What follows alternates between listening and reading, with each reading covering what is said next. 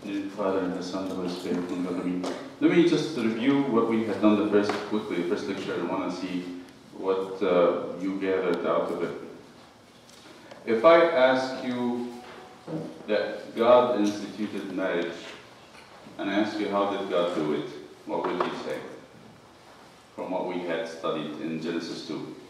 How did God proceeded to do this project? Give me a couple words. You know, don't tell me everything we talked about, but just a couple words that would kind of uh, highlight what God had done. How did He do this project? Was it, let me ask a question. Uh, was it uh, a one step project? Was it multiple steps? Did He do it? How did He do it? Process. It's a process. He did a process to reach to the final. So, what was the final step? Perfection. No, he didn't do the perfection. So, so he, he, he ended up with, we, we end Genesis 2 with the creation of, not man, but woman. but uh, the people, the evolutionists would say woman is the evolution of man. But he ended up with creating Eve. But before that, immediately what happened? Yes. He led him in love, in that yearning, to give up or to surrender his body. To surrender his body. When Adam was ready to give his body for God to take a to rib, but Adam felt something before that. And that was the step leading up to that. He felt the loneliness, he felt the longing that he is not, it's not good to be alone. Good. Um, what is God's purpose? Remember what's God's purpose? Unity. This is going to be the end of chapter 17 in John. The last thing Jesus would say before he goes to the cross, so that they all be one, like I and you, Father, are one. This is the goal that God is seeking, that the image of God in, in, in its multiplicity and unity would be perfected in marriage. And that's what we need to talk about today as the, the continuation of this. So we talked about the human expectations, and then we talked about Genesis 2, and we talked about the divine project that love permeated the whole process, and love and offering up oneself. Uh, we talked about unity, complementation, and procreation to bring more to fill the earth. That's one of the jobs that the humans had to do, to uh, procreate. And then we talked about finding unity on the uh, superficial or deep replication or complementation, and then general denominators. And I remember Joey asking the question, this is human logic, where is God's word? And we said, when we are really into God's life, you don't need that. It's only when we are clouded by emotions or confused. And I have a lot of questions from singles who come after knowing somebody. Uh, you, you, you have this question, Abuna, I have uh, this nice person, this is nice, a nice man, nice girl. I, I think everything is about her good, but, and the question is about the buts, the, the, the exceptions. Okay? So, that usually are one of these.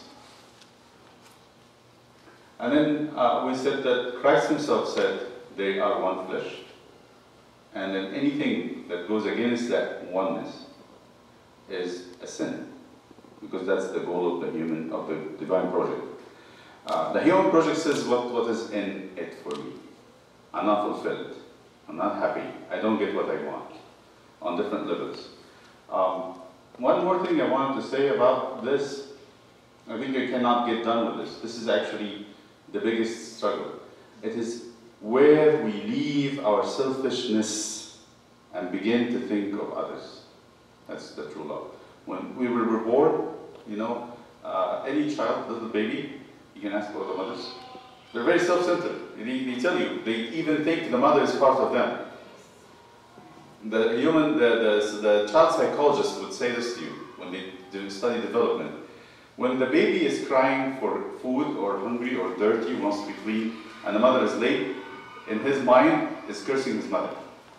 Where is this that, that, that woman? But when he, when she is feeding and nursing and cleaning, he is smiling and blessing. They say that. But then after a while, he discovered, after few traumas, that his mother is not there all the time. He was in the womb. You know, he was in the womb. He didn't need to cry or say anything. But then when he comes out, he is in need of everything. So this takes too long. They say to you that the human child is the most dependent creature of all God's creation. You know, deer, gazelle, camels, dogs, cats, when they're born, a few minutes later, they're on their feet, taking care of themselves. It's only the child that takes two years. Birds, maybe. I have this very nice image of, of uh, a mother bird feeding the little ones the office because I like to look at it. We're like that with God. But the human being takes that for two years. For two years, the child is very dependent. But in that process, he thinks the whole world will revolve around them. They are very self-centered. So the, the perfection of a human being is to go, to start there, and then to go through a process until you are selfless, giving, thinking totally not of yourself. It takes hard work from God and from everybody. It, it goes through a process. One of the best examples I have is Abraham. So, let me just tell you this. How can Abraham reach to the degree that he can offer his son? How can do that, that happen? He started by a child, being a child, taking care of. Love to Abraham is receiving. I only love from the receiving, receiving end. But then he goes to marry Sarah, and we know how much Abraham loved Sarah. He even listens to her. Even. But then, when that, when that is perfect. So first love is I receive. A child receives, and he's not obliged to give anything. A father or mother would say, I'll give you the love. All what you need to do is not to reject me, not to say no. But then you get into a marriage. How is love experienced? It is reciprocal. I give you, but I also expect to receive. To be loved and to, to love. That's what they quote in love. But then as you move on to be a parent, what happens? Pull your hair. Exactly. Not only your hair, everything of you is being taken out. It takes a lot from the parent. And they do, you know, as a parent, you don't want them to love you even. Right? And that's what, when you are really caring about your kids, you want them to be okay, to be good. You don't care if they say, I love you, mama, I love you, papa, it doesn't matter. All what you care about, that they are actually well taken care of. That is when you are experiencing selfless love. So you move through this schooling from being taken care of to take care and being taken care of. Then eventually you are ready to move to taking care of. This is a process to completely dissolve your I, the ego, and to try of accept the other as your new identity. That's a tough process. And this is what we talk about as imperfect and in go to perfection when we are ready to move on to the selfless giving.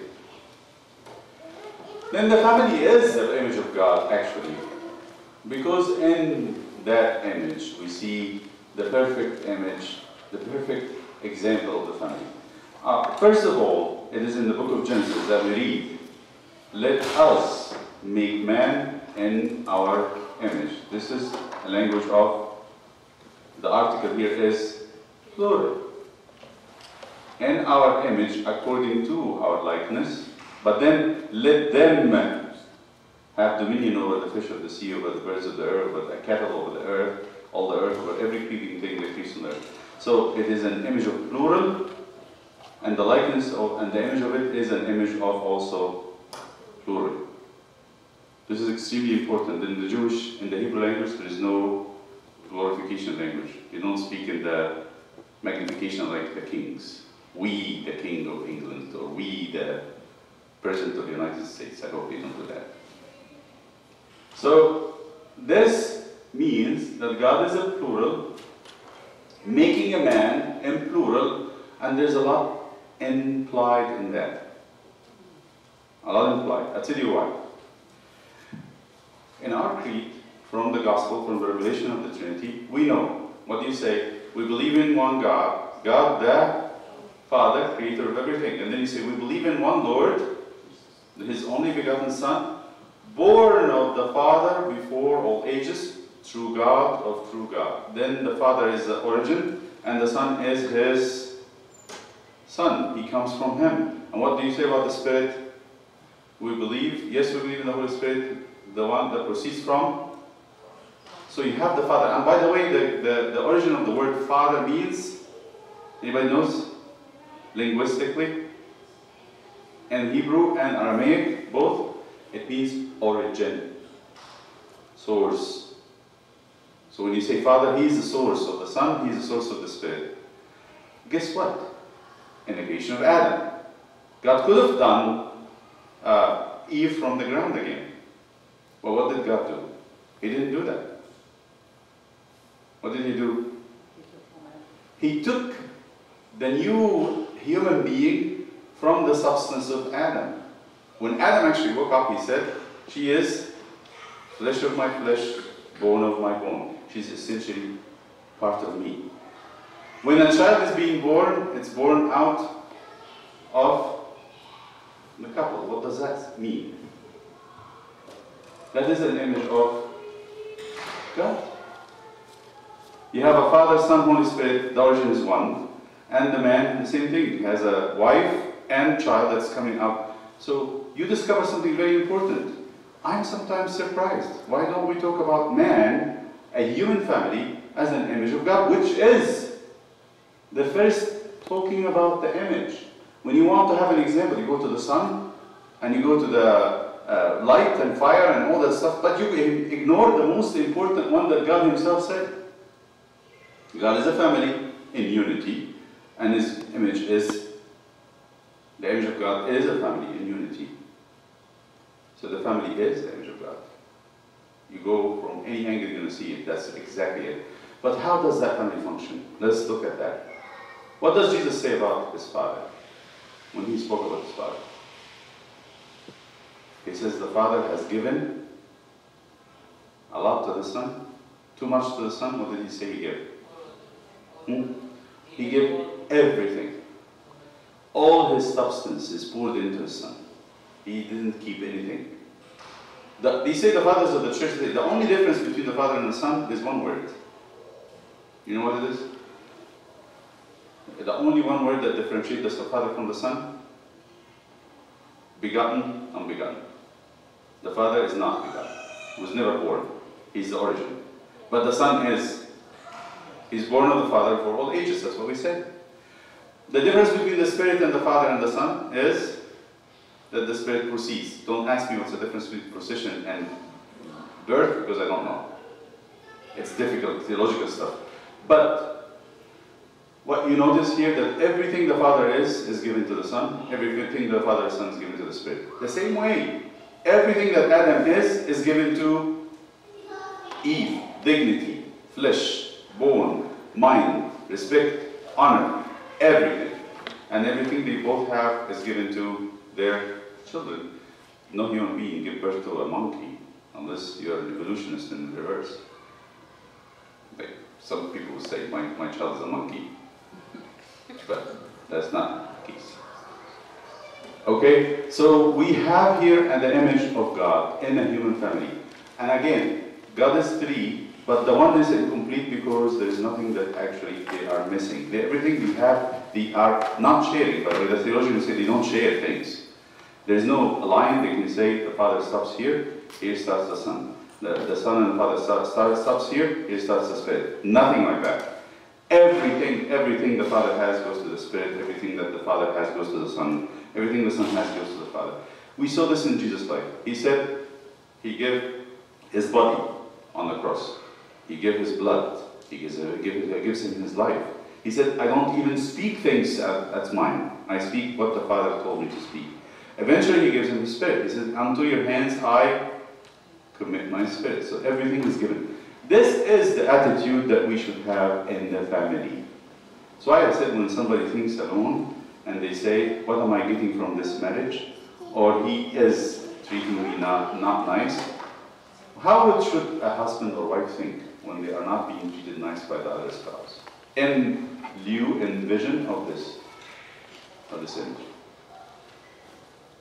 Let's say that a husband's come very tired from work and he's angry and he's venting anger on the wife. What she should think if she is in the perfect image of God.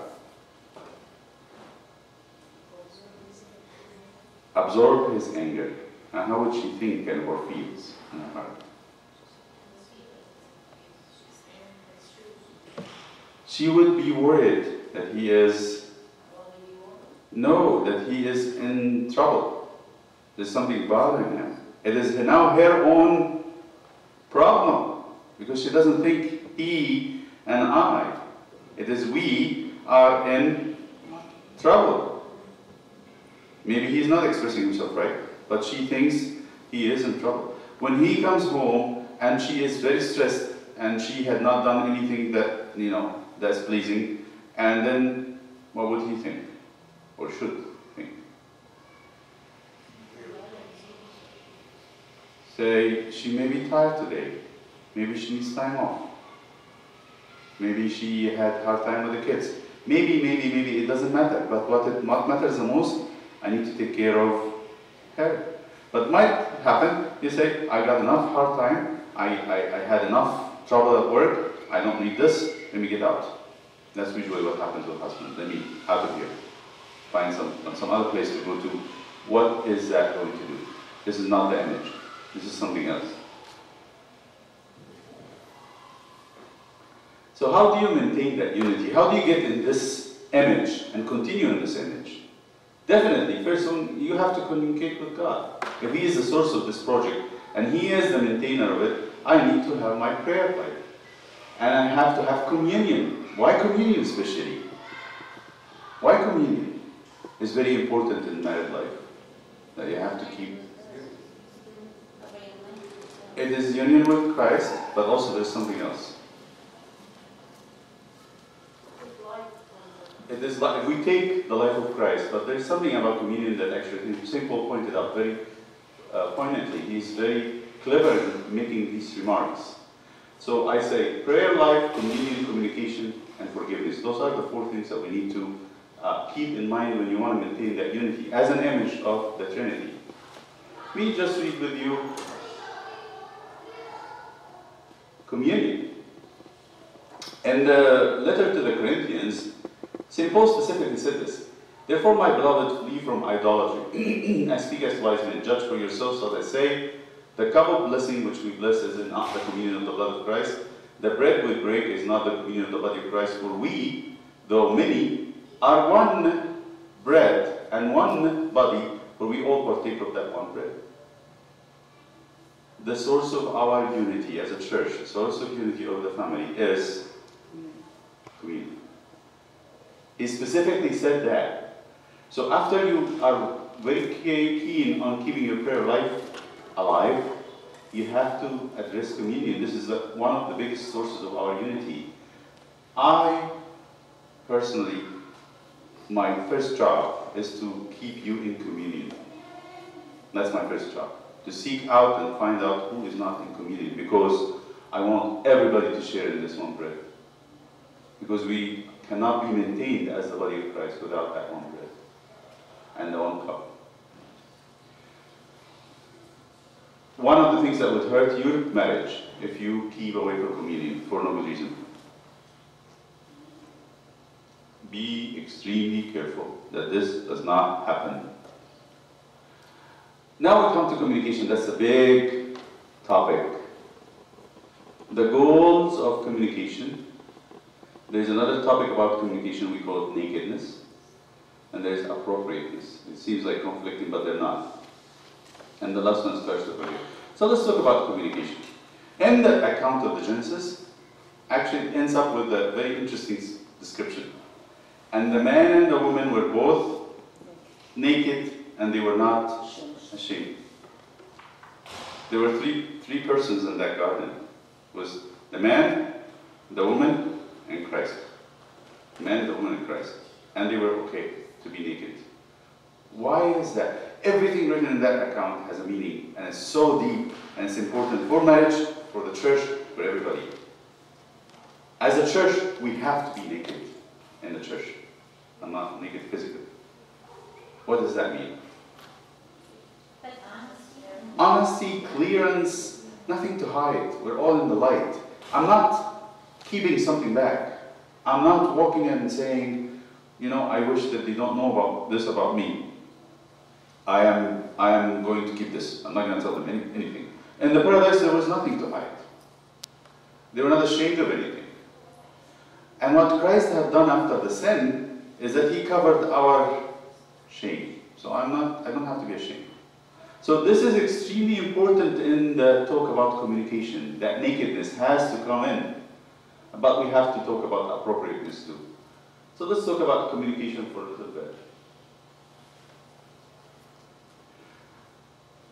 When we talk about communication, I think in marriage and also in the church, we have to have an open dialogue. One of the things that happens in marriages a lot, and I hear about it in confessions and marital problems, is Abuna is usually a, uh, the, the, the woman, the, the wife. She says, Abuna, he wants marriage relationship.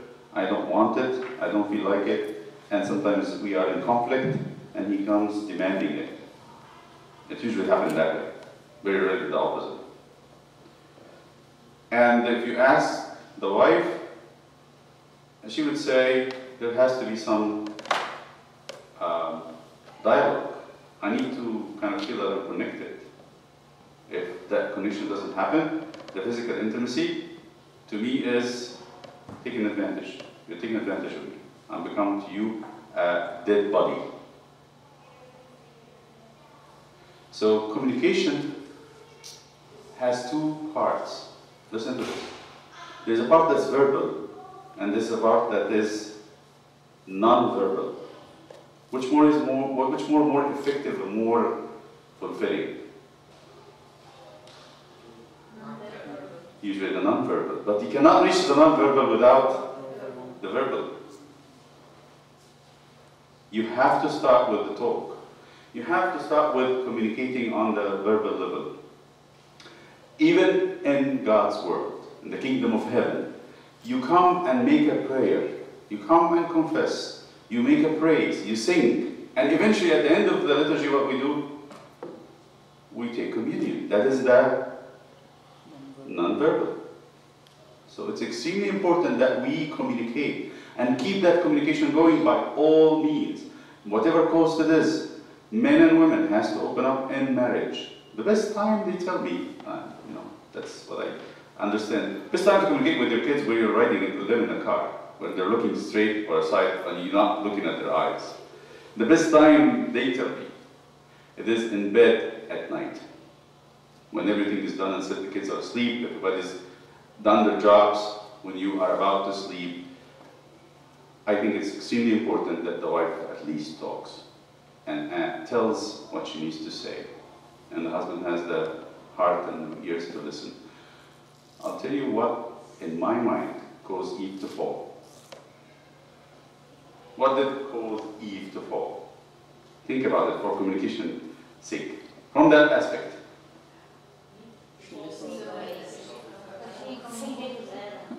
Exactly, the communication was a side communication. And I, I'm, I'm sure Adam was there. I'm 100% sure, because they didn't leave each other. And he said, okay, she's talking to the servant, at least she would, yes, to, to get, to get busy so she doesn't have to say, it belongs to me, I don't have to do anything. Big mistake. What happened? He got in trouble. he didn't think he would get in trouble, he got in trouble. That is important. If you read the Men from Mars and Women from Venus, one of the messages they give in this book, which is a good one, I think it's a, it has a very Christian uh, aspect to it, that women communicate verbally, uh, and they need it. They need that. And it's very important that men listen. If they don't listen, we, they lose them. If the man doesn't listen to the wife, they don't lose. And what it means to listen. This is extremely important that we stop and talk about how to do empathic listening. What's that? Listen with empathy. How do you listen? It makes a big difference. Focus. Give me, yes, focus. focus. How do you give me that? uh, give me that image of a listening, a very good listener in communication. Your eyes is you're making eye contact, but then some husbands make an eye contact, but they're not there. they look at the eyes, and you can feel like they are drunk. Have this glazed eye. Face, like we show you before we say. That, this exactly. There is facial expressions that means I'm with you. There is also a response. I need to clarify this. One of the best things you can do in empathic listening, even with your kids, is to summarize what they said.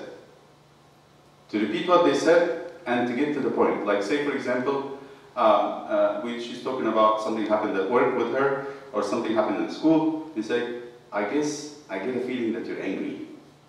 You were angry about this. Yes, I was angry. So you actually did say that I not just understood what you said, I they, I validate your feelings, I quote your feeling, I captured your feelings. Sometimes that makes a big difference when the person is talking because it says you don't just listen to him, you understand him, and that makes a big difference. But if, if the husband keeps saying, mm, mm, and the, is going, mm, okay, mm, okay, are you with me? Yes, yes, yes, get done with it. This is extreme. So in communication, you're going to say this, and I hope that we get it. It's really very important. Once you pass that test of communication, your rest of the job is not a big deal. But that's the, the but again. Communication is a time.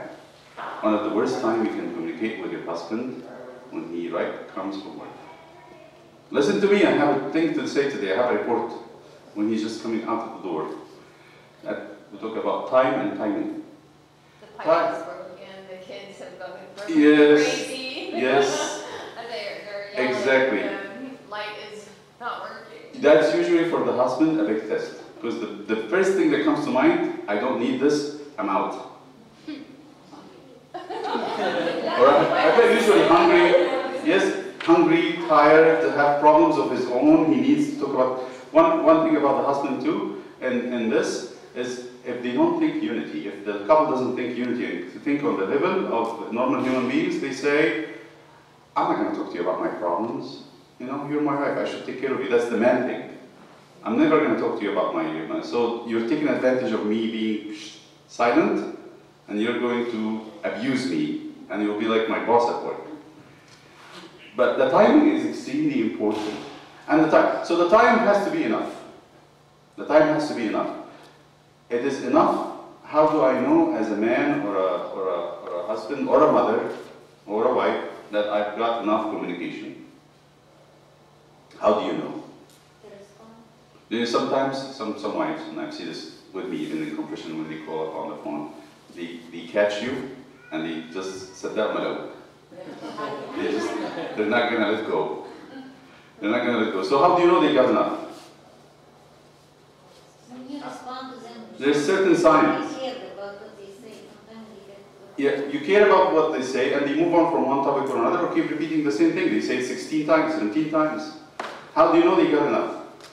When the things are repeated, I know that. When their tone of speaking is calmer and their feelings are a little bit more comfortable. You know that they had enough. Then you can actually do an aggressive enough. So I can we keep the rest of it till tomorrow?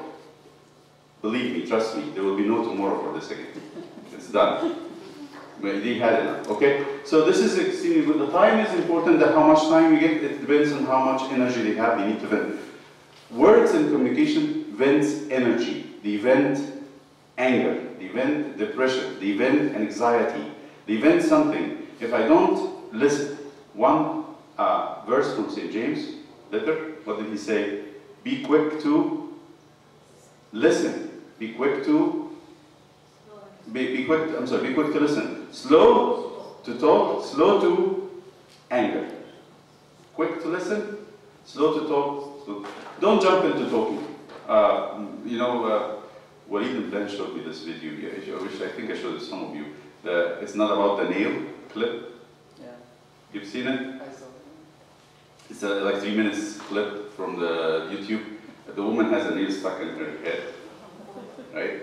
And she is talking to her husband and saying, I have this achy, headachy feeling. I don't know what to do with it. And the man say, I know how to fix it. no, stop. You're not going to fix anything. I'm telling you about mother I feel. You're quick to say, fix it. She wants him to listen. so, okay, I'm listening. I am listening. And then he's looking at it like he's just on edge. She wants. but then eventually they, they get a little bit passionate. They want to kiss her. And then he bumps into the nail. She screams, Let me take the nail. She said, You're going again. Stop. anyway, so this, uh, this has to be uh, in the right time. Approach it tactfulness. Sometimes our problem with each other is each other. Like I'm really hurt over and over again about what somebody's doing. I give you an example. What I mean by approach and tactfulness. Uh, one day in the in the clinic, I said this story before maybe. One day in the clinic, one uh, nurse, we had we closed the clinic at five, and the person comes at five, goes to the emergency room, and they pay a lot of money if they don't have insurance, maybe ten times what they pay in the clinic. So this person comes ten minutes before five, and I said, "Can we take this patient?" And the nurse went berserk. Can't do this. This is not right. You're absolutely off, off uh, line. You're you're, uh, you're, uh, you're, you have no right to ask me to stay over, overtime. I said, just. It's okay. You want to go home? Go home. I'm going to take care of him. Take care of his blood pressure and vitals and everything. And then she said, and she left angrily. Next day, she apologized. Said, I'm sorry, yesterday was our uh, wedding anniversary, and my husband expected me to be home, prepared and ready. I said, would have been better that you said, I need to go because I have an anniversary. But you thought in your mind that's none of his business. He has no right to do this. So this is not tactful. The approach is very untactful. You cannot read the mind. What I think the, the, the, the, the what is the word? The rule I'm going to take from this is, and instead of going to the husband or wife and say, you should, what you're doing is not right, I should say, I need this. Can you help me? It will help a lot in the other's perspective. That humility, that you're coming from a perspective of need rather than forcing rules. You're not, I mean, the answer would be, you're not my teacher, I'm not your student. Don't treat me that way. You're, you're treating me with the shoulds and shouldn't, who can have that say? You're my wife or your hus- my husband, he shouldn't say should or shouldn't. You should say, I need. What do you need? I'll be your servant. If you tell me I need you, I'll be at your feet. But you tell me you should and shouldn't, I'm going to retaliate. I'm going to defend.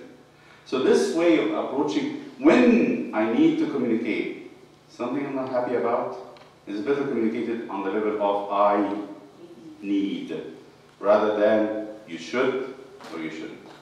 This is extremely even with kids. Even with you to teach them to be humble, like, uh, honey, I need you to be more organized because it would help me a lot. Can you help mama? Can you help baba? I need you to wake up early so we can go to church and be on time. When the person hears that, you get them excited. They want to help you. They want to be active.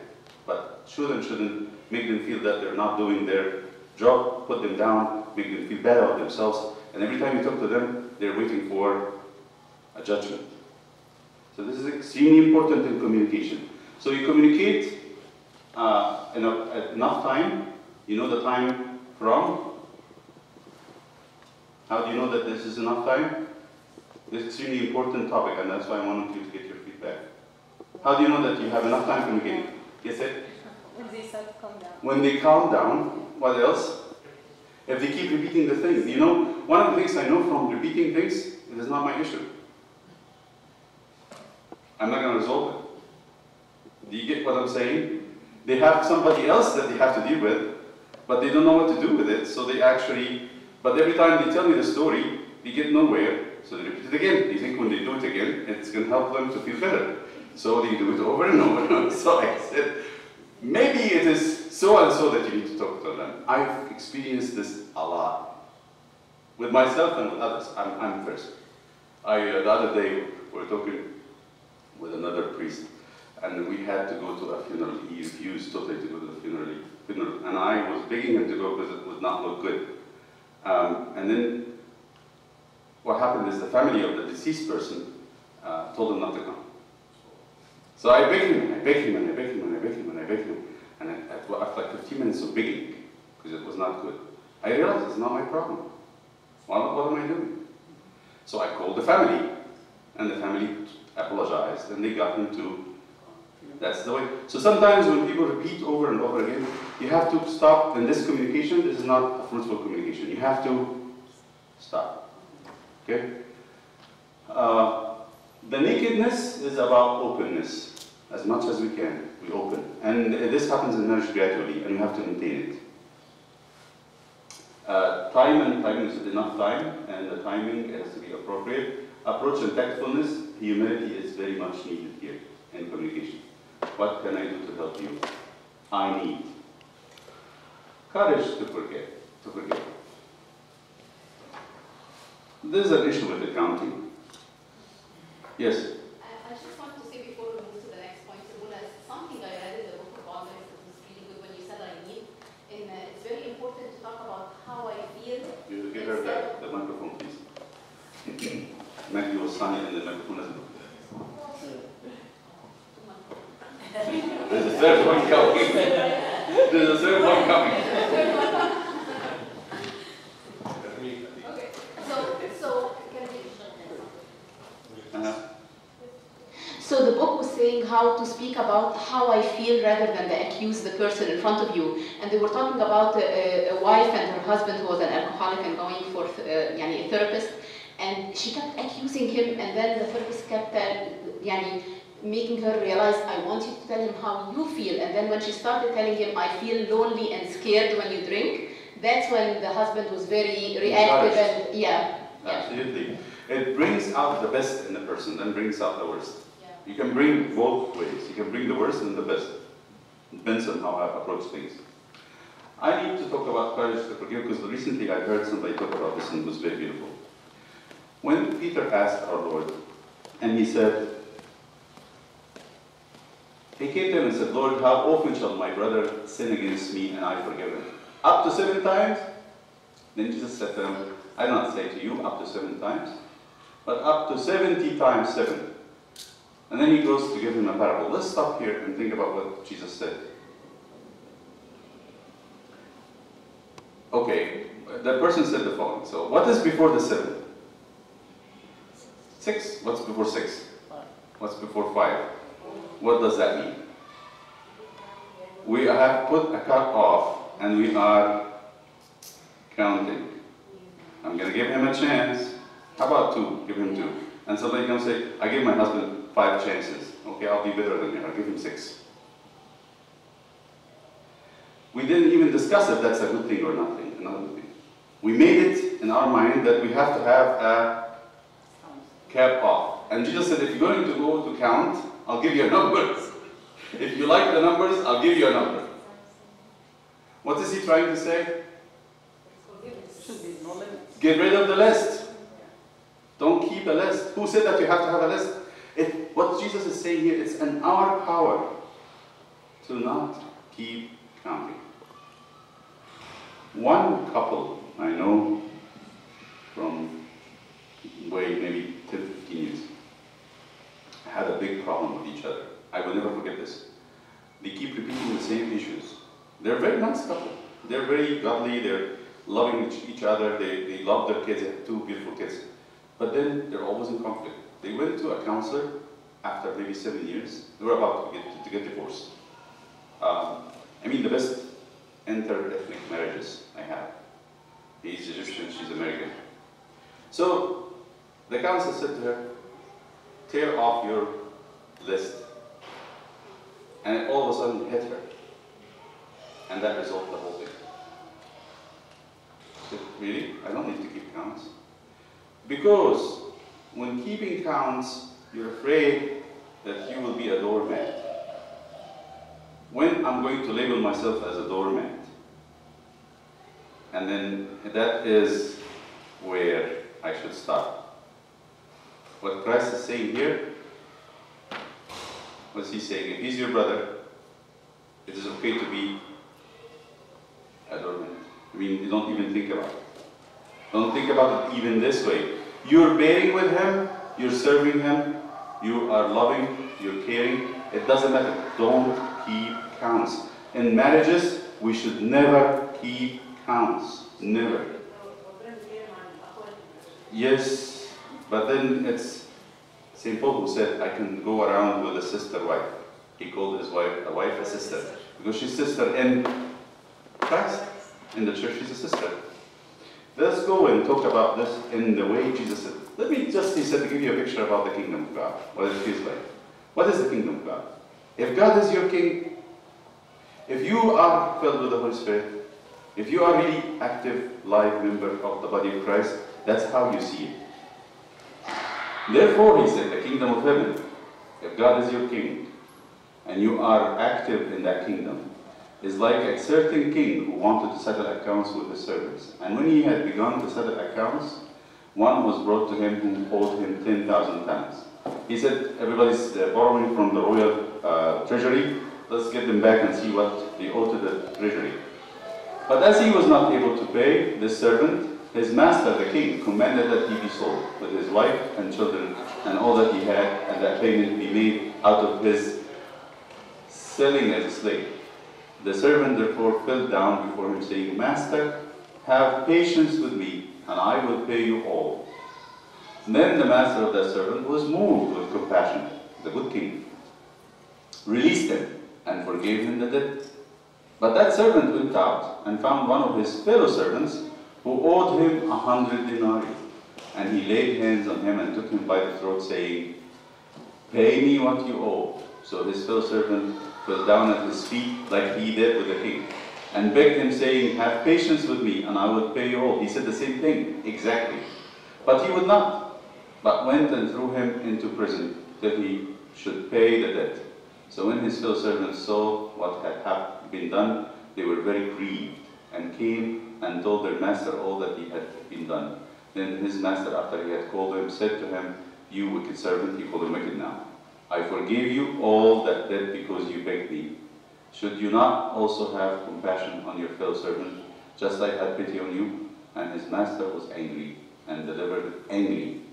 This is angers God. And delivered him to the torturers until he should pay all that he was due to him. So my heavenly Father, that's Christ, my, that's Christ, heavenly Father, also will do to you if each of you from his heart does not forgive his brother his trespass. This is very uh, graphic. What does that say? So to forgive, this is what I think I get from this. What, who is the king? Jesus says. The Father. And who is the servant? The first one. That's me. And who is the other servant? The person who hurts my feeling, or grieve me, or insult me. And who are the tormentors? That's very important. Who are the tormentors? That's a good question. You know what the tormentors are? Hmm? It's the depression, the anxiety, the lack of sleep, the troubles in life, all these things that will not make our life easy. Will be very troubled because God is in control. He's a Pantocrator. So He's controlling our life and He's protecting us from all that stuff. So you don't act nicely with your brothers. He's going to let one of those stumps, just one, and all hell will, broke, will break loose. So what I see in this, so how did he forgive me? How did the Father forgive me? And what, what did he have to do to forgive me? The cross. The, the gift of his son. He sent Jesus so he can die for me. So what I do for myself, I get like my friends or my brother, my sister, my people in the church to insult me. What do I need to do? I, this is a practical thing. You get a cross or an icon of the cross and look at it. And keep saying to the Father, what you forgave me and that's how much you paid and how much you lost. Cannot I forgive somebody who did that little to me? How, what can I pay God back for what I have done? That, that led to the death of his son, while others are doing things that really doesn't lead that way. So the comparison is not fair. Actually, in the, one of the other gospels says 500 denarii, 500,000 and 50. Like big, big amount of money. So forgiveness is extremely important to maintain unity. You want to forgive. There's four levels of forgiveness, just to tell you this. The easiest way, the easiest way, or the most direct, you know that GPS has easy route, direct route, maximize freeways. No, I don't know, forgot the other. Fastest way. Huh? The fastest, right. The fastest way is to forgive without having apology. You know, forgiveness is a free gift. You can forgive, you don't need to have anybody apologize. That's the easiest and the fastest. But if you can't, what would you do? Jesus has given a prescription. I want us all to remember that prescription. He says, yes, go talk to him. And he said the condition in talking to the person and, and rebuke him between you and him has to be, well, there's a condition. Privately. Why? Why do you have to rebuke privately? With husband and wife, it has to be in the bedroom, not even the kids. Don't ever get the kids involved. Never. They have to be out of it, totally. Once you bring in the kids, they become your parents. They will give you advices, and they'll be your marital counselors. It will not be good.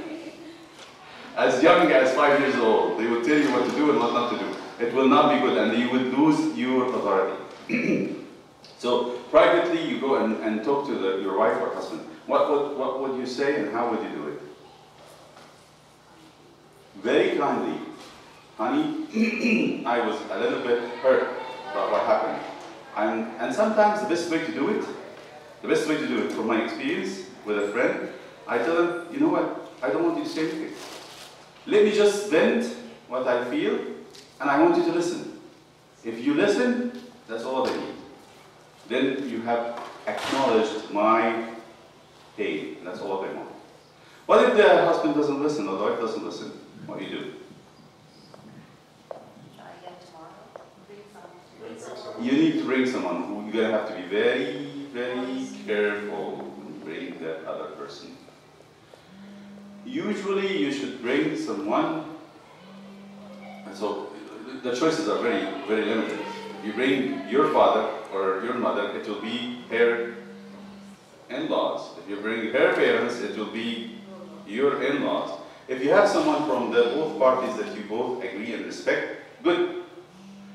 I'd say I will jump to the third one. You have to bring Abuna, but Abuna would come not as a judge.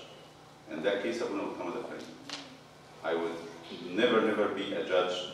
Try as much as I can avoid that be judge, because the third part is to have Abuna as a judge, or to go to a bishop. So the first one is you talk privately. You for, first one is you forgive, right? The second one is is talk, talk privately to acknowledge your pain. And it's the best thing you can do it with minimum minimum judging, no pointing of finger. The third one is you bring someone that actually can be a mediator as a friend. And the third and the last one or the fourth one would be judge. We're going now for serious matters. Very serious stuff. Now, when Jesus said this, he said, when they don't listen to the church, let him be to you as the, the Pharisee, uh, no, not the Pharisee, as the publican and the heathen. The person who doesn't believe. Means we're heading for, God forbid, separation, divorce. The last one is about everybody goes to their own place. God forbid that we don't reach that. But forgiveness is the goal. I need to forgive. Sometimes it takes some time to heal wounds that happen from hurt from uh, each other, but it does happen. Time will heal everything with God's grace, I am sure. God give us vitality of the body, and I look at it from medicine point of view. We have wounds, takes time and heals because there's vitality. God give us life and also give us life to heal our emotional hurts. But also, we learn from that we don't hurt. I'm gonna stop here.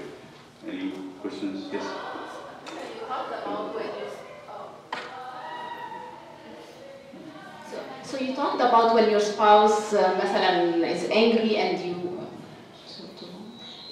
when your spouse is angry and you feel their feelings rather than being upset yourself and being the doormat. But at the same time, I think we should balance it by talking about boundaries and not accepting abuse. I don't think that's No, we Christ wants us. Yeah.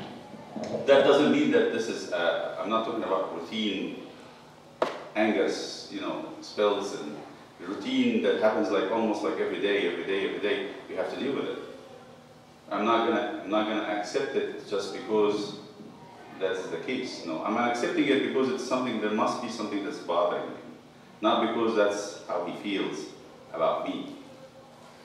And that means I'm, I'm not in his mind as equal or as uh, a person that he respects. That's all. There, there's, I'm not, this is not about disrespect. It's about a normal marital relationship where there's love and respect. And we always going to talk about that love and respect mutually. We have to have love and respect mutually. But at, at one point or another, that person gets a little bit out of the normal, usual stuff and they go that, do that. But I'm not talking about uh, a pattern. Pattern has to be dealt with, of course. And pattern should have been foreseen before. We don't come 10 years out, 20 years after marriage and we discover, oh, he's an abusive husband or an abusive wife. Where were we? Right? Okay. Should we stop here? Okay.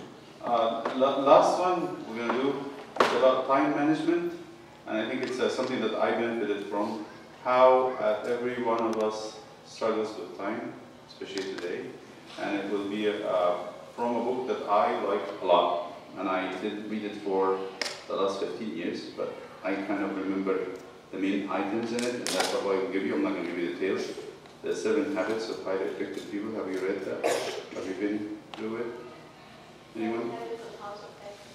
Effective people. Highly effective people. Uh, that, hmm? Have you read that book, anybody? My uh, It's- son was needed to read it, or was asked to read it for a class in high school. I recommend it, big time. I'm gonna give you the main items in it, and that, that would give you the, the, the biggest stuff, the bigger picture. But if you want, it's actually translated in all languages, including Arabic. Uh, that's, that's a great book, recommended to everybody to read. It is more uh, how to think about your time.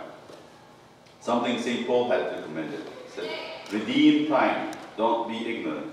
Redeem time means make the use of it, don't let it run from you. And as a family, how do you do that? You're very busy with work outside and inside. And it's a really, really important topic, and I want us to be all uh, aware of this. Okay? Let's go have a break.